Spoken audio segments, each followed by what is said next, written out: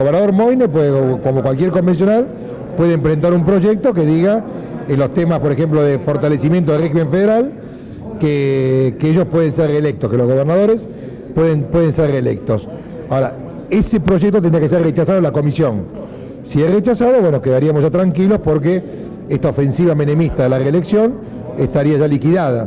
En cambio, si, ese proyecto se aprueba en la comisión, iría al plenario, iría a la sesión.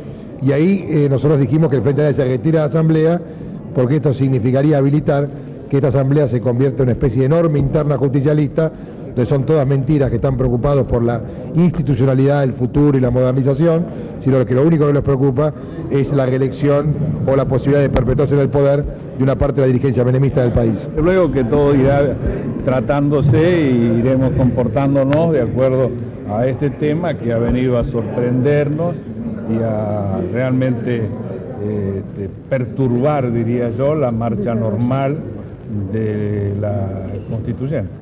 ¿Usted se retiraría de su presente? Eso lo va a decidir el bloque, pero yo creo que realmente se hace incompatible la marcha de la, de la constituyente con una actitud de esta.